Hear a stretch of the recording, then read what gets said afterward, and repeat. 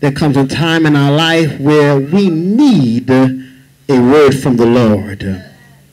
I came to this house tonight to prophesy, and I came to tell you that uh, tonight is your night. Tonight is your night. And God said to tell you that today is a day of victory. Today, God is going to deal the death blow to an enemy that has been plaguing your life, that has been dogging your heels, that has been riding your back and breathing down your neck, making your life miserable. And I believe that there are some people that have been assigned to your life uh, just to frustrate you and just to aggravate you. Uh, your day could be going well and it could be going smooth. And somebody calls you on the phone just to sap the energy out of you, to bring that negative spirit on you. But let me tell you something. You don't have time for negative energy.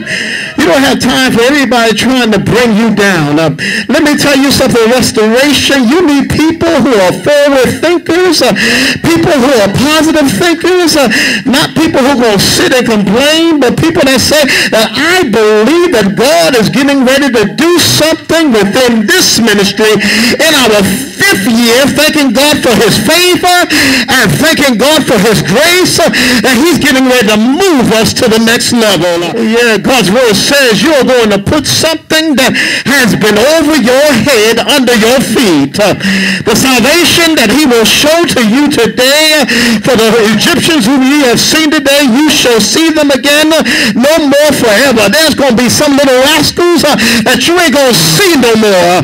There's going to be some pains in the behinds uh, that you ain't going to see no more. Why? Because God is getting ready to release you from them. Uh, God is getting ready to get you from them because God said, I have something bigger. I have something something greater.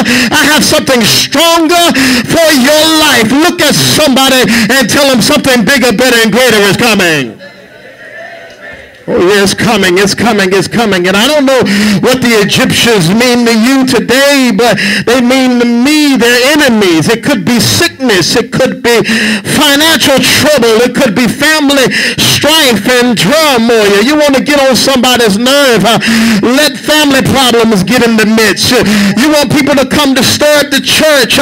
Let not there be peace in the home. But I speak peace in the home right now so that you can have a peaceful praise when you come to the house uh, of the Lord because God said restoration uh, is here. God said your hope is here. Uh, you're in the center where you're going to get your blessing. Uh, right dab in the middle, God is going to bless you uh, right where you're standing. Look at somebody and tell them there's a blessing coming my way. Oh, yes. So it could be people who are trying, amen, every single day to destroy your life or to attack your ministry. I haven't seen so many jealous pastors and leaders jealous of one another and don't want churches to grow and don't celebrate different moves. I'm here to let you know it's enough for everybody. Everybody's church ought to be filled. There's enough sinners out there that you can go glean. You ain't got to go and bother nobody's folk. You ain't got to go and slip no number to nobody else's number. Let me tell you something. The harvest, the harvest is plentiful. And you ought to go out there and get your own for God's sake. And he'll bless you uh, if you sow a seed. Because if you sow a seed, uh, you will reap a harvest. Look at somebody and tell them my harvest season is here now. Tell them don't get mad at me now. Tell them it's not my fault. It's just my season. It's my season to be blessed. It's my season for miracles. It's my season for deliverance. It's my season for healing. God said, I'm getting ready to do it for you.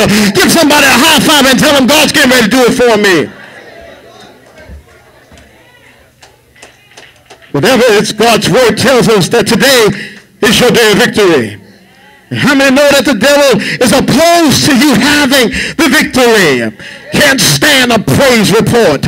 He hates it when you testify. He hates it when you tell of the goodness of the Lord because then he comes after you trying to disturb your spirit and, and trying to disturb your praise. But look at somebody and tell them nobody's going to disturb my praise. Uh, ah, when I walked in here today, I came with a praise uh, on my mind. Uh, some folk look for a special person to get behind the mic. Uh, some folk looking for a certain preacher to get behind the mic. Uh, some folk wait for a certain, wait for a certain singer to get behind the mic. But, but when I think of the goodness of Jesus uh, and all that the Lord has done for me, uh, my soul cries out, uh, is there a hallelujah in house? Somebody ought to shout hallelujah. You ought to thank God for saving you. Somebody ought to give God some praise in here. And after the children of Israel are thrust out of Egypt. Pharaoh decides he has made a mistake and wants them back now. He's in hot pursuit of them. And so for Pharaoh will say of the children of Israel, they are entangled in the land. The wilderness has shut them in. Now Pharaoh is saying, I've got them right where I want them. They're trapped. There's nowhere for them to go. I've got them right where I want them. And most of the time when you hear these words is because somebody believes they have somebody trapped, surrounded, hedged in, no escape. People love to see when you look like you're trapped. You can't move nowhere. You can't move to the right or you can't move to the left. You're in a stuck position. People love to celebrate uh, when you're not doing so well. They love it. Your haters love it when uh, you're not moving forward. But the minute you begin to move forward, they act like they can't speak to you because you got a new car or because you got a new house. They can't speak to you and then they, they'll tell you, you acting funny. And they're the ones acting funny because the Lord blessed you and they acting funny, but they going to put it on you. Look at somebody and tell them the devil is a liar. They believe that they have the upper hand and everything is in their favor. And when somebody speaks those words, it's with a sense of superiority, confidence, and assurance. Sometimes when you're on your job, the supervisor likes to play power games with you and try to mess with you and amen and get you to a place where amen where you want to lose your character just to tell them off just for a few minutes but don't let that devil trick you. Don't let them steal your joy. You keep on praising God. You keep on being nice. I'm here to let you know you can kill them with niceness. Even though they acting mean and devilish you keep on praising God. You keep on blessing him. Why? Because uh, you're getting ready to come out. Look at somebody and tell them what I'm in. I'm getting ready to come out. So when somebody speaks like that, they have a superiority complex. And that's exactly what Pharaoh was thinking.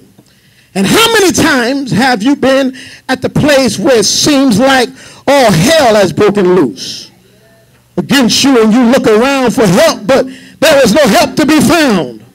And it feels like you are surrounded and the enemy is coming at you from every side. And then you hear that sinister voice of Satan laughing at you with that attitude of arrogance and self-assurance saying, now I've got you right where I want you. I know the devil has told you that. We've all been there. In fact, I'm talking to some people that are there right now. You're my assignment tonight. Because I have the word of God for you and I want to tell you things aren't always uh, as they appear. I want to tell you that there is more to this than meets the eye. I want to tell you that it's all a setup.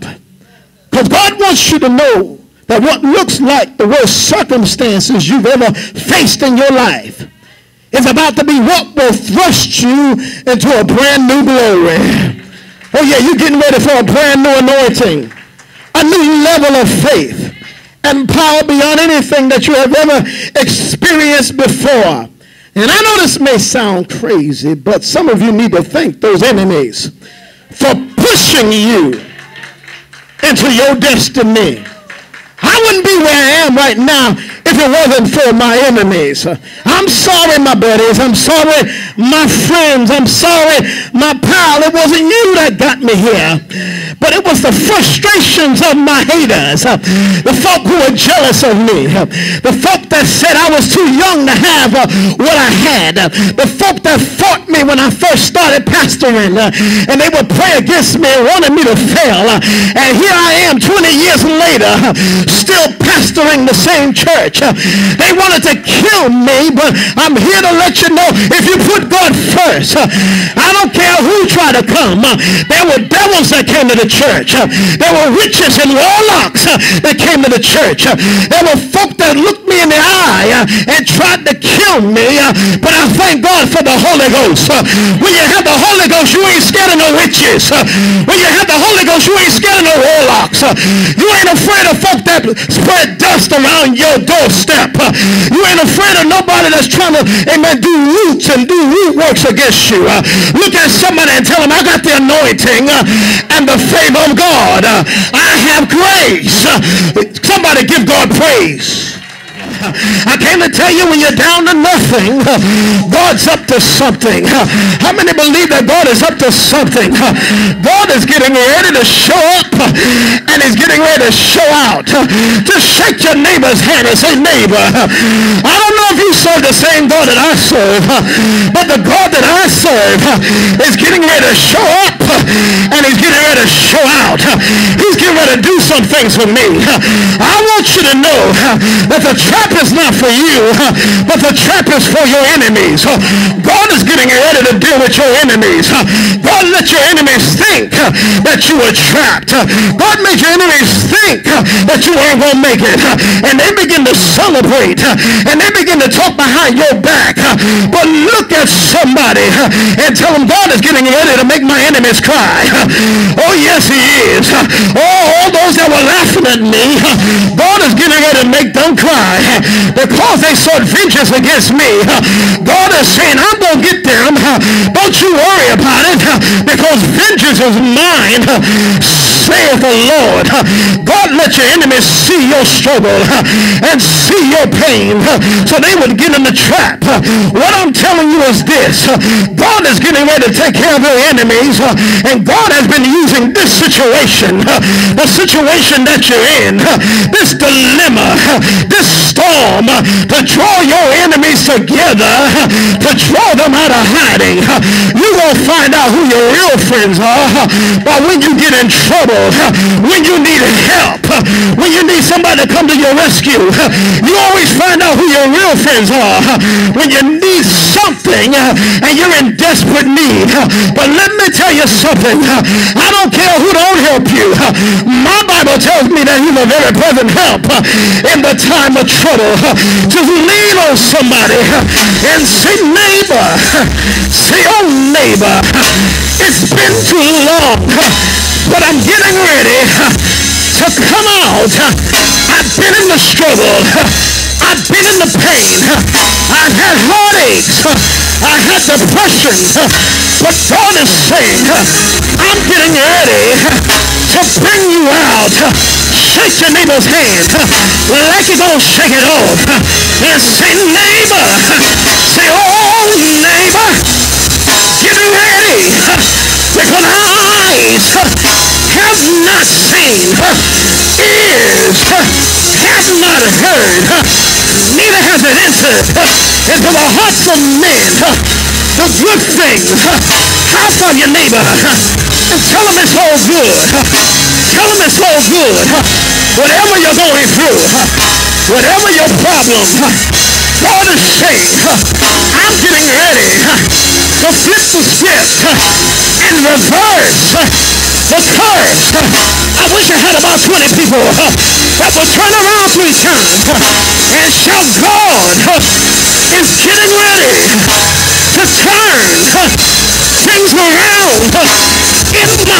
favor. Uh, who talks about the church? Uh, don't worry about uh, who talks about the leader.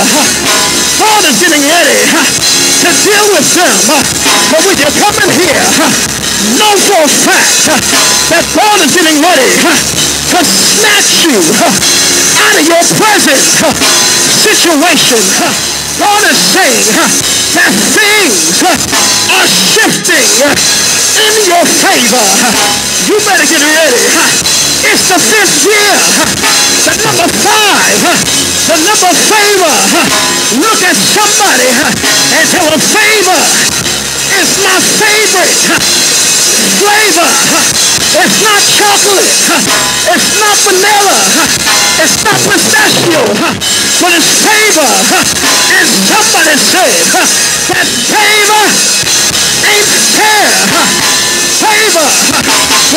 into places that other folks said you couldn't get. Favor will have you in a house that other folks said you couldn't afford.